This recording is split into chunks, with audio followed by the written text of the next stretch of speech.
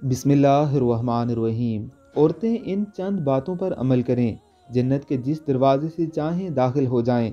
रसूलुल्लाह सल्लल्लाहु अलैहि वसल्लम ने फरमाया, अगर औरत पाँच वक्त की नमाज़ पढ़े और रमज़ान शरीफ के रोज़े रखे और अपनी शर्मगाह की हिफाजत करे और अपने शोहर की फरमाबरदारी करे तो क़यामत के दिन उससे कहा जाएगा, तुम जन्नत के जिस दरवाजे से चाहो जन्नत में दाखिल हो जाओ।